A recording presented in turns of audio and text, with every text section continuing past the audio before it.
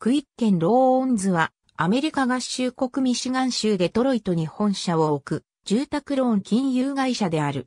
2018年には、アメリカ合衆国にて、最大貸出金額の消費者向けローン会社となる。預金を基金とする多くのローン企業と違い、クイッケンローンズはホールセール融資を活用し、支店を多く所有せずオンライン業務を基本にしている。1985年にロックファイナンシャルという名前でダン・ギルバート、ゲイリー・ギルバートにより創業。1998年5月に株式公開。